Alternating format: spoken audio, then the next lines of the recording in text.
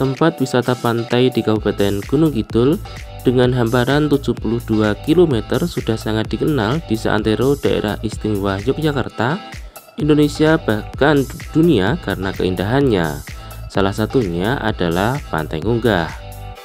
Pantai Ngunggah merupakan salah satu potensi wisata yang ada di Kapanewon Panggang, tepatnya di Padukuhan Pejanten Kalurahan Giriwungu.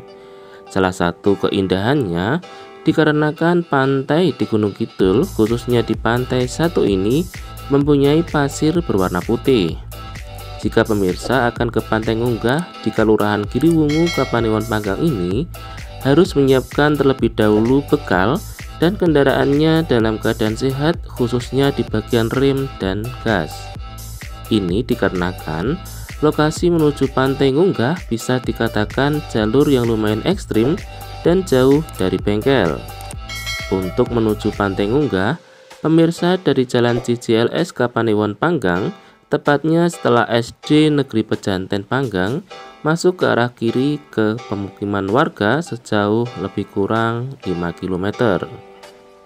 Dari ratusan pantai yang ada di Kabupaten Gunung Kidul, Pantai Ngunggah merupakan salah satu pantai berpasir putih di Kabupaten Gunung Kidul paling barat.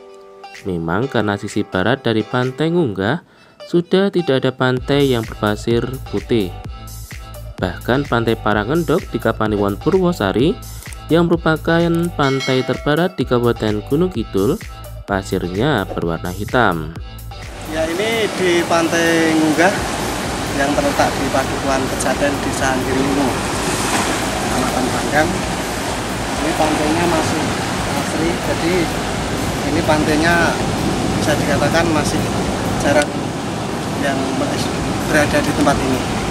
Harapan saya ya dengan adanya pantai Gunggah ini ada gimana ya istilahnya uh, pembangunan di pantai ini tempat wisata dan wisata.